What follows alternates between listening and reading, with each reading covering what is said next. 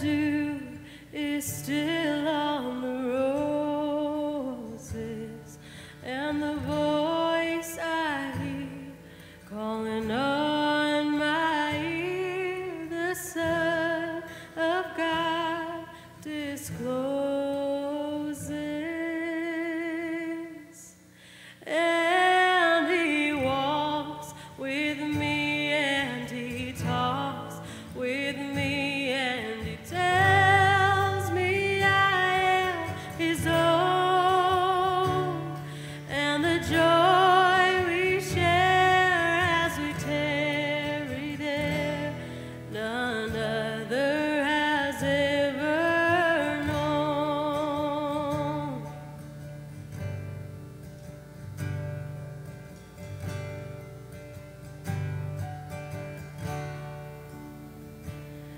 He speaks, and the sound of his voice is so sweet. The birds hush their singing.